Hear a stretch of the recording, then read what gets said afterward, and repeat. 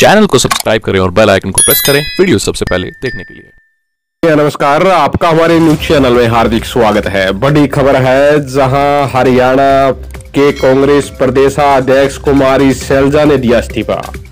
Video को शुरू से लेकर अंत तक ज़रूर देखिएगा। अगर आप हमारे चैनल के साथ नहीं जुड़े हैं तो चैनल को सब्सक्राइब करना मत भूलिएगा। कमेंट बॉक्स में राय ज़रूर दीजिएगा कि कांग्रेस पार्टी के अध्यक्ष पद से इस्तीफा देना कुमारी सैलजा के लिए सही फैसला है।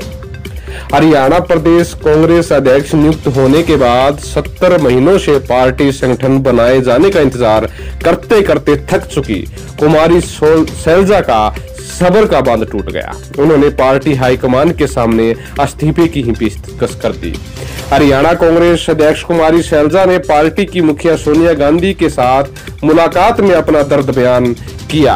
उन्होंने कहा कि अगर उन्हें काम दे सकते तो इस पद में रहने का कोई उचित ही नहीं। कुमारी सोनिया गांधी के आगे साफ़ तौर पर कहा कि वह बड़ी इच्छा शक्ति के साथ हरियाणा कांग्रेस पद पर विराजमान हुई थी और उनके को दोबारा सत्ता दिलाने का जोश और जुनून था।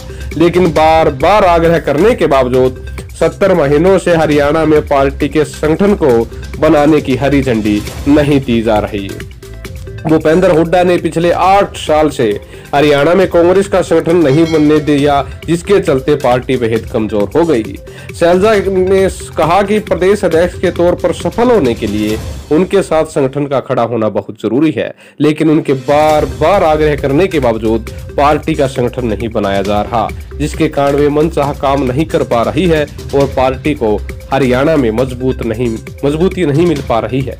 कुमारी शैलजा को इस बात का भी शिकवा है कि पार्टी विरोधी गतिविधियों में शामिल नेताओं के खिलाफ कोई कार्रवाई नहीं की जा रही। इसके अलावा पार्टी के कार्यक्रम की अनदेखी करने वाले नेताओं पर भी कोई एक्शन नहीं लिया जा रहा है। इन हालात व खुद को काम करने के लिए सहज महसूस नहीं कर रही है। कुमारी सैलजा की पीड़ा में पूरा दम है। पिछले आठ साल कांग्रेस संगठन के बिना चल रही है। और करे भी तो कुमारी सैलजा क्या करे? आखिरी में हथियार ही यही था जिससे वो इस्तीफे की पेशकश कर दी है। फ़िलहाल कुमारी शैलजा ने इस्तीफा दे दिया है।